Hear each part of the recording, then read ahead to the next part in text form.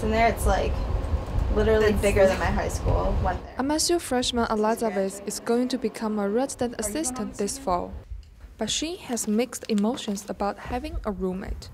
An RA's room is supposed to be a safe place, somewhere where some any resident can come at any hour of the day or night and speak to the RA about very confidential matter.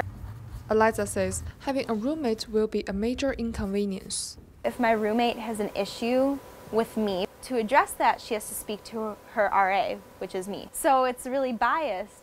But the decision was made because of residence hall overcrowding. It ended up in a situation in the fall that students were living in triples, otherwise known here as transitional housing. By having each 300 RAs take a transitional roommate, this will help over 1,050 students out of triples.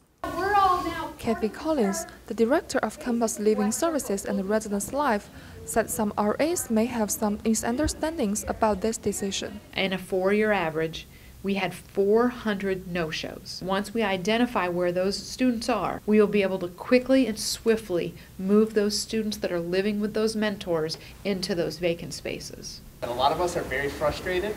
While RAs and university housing may not agree with the new policy, both groups agree that this will be a challenge at first. There's some RAs who are 24 years old and if they're living with an 18 year old roommate, they're at different maturity levels. I think it's just as challenging for our freshmen to live three to a room.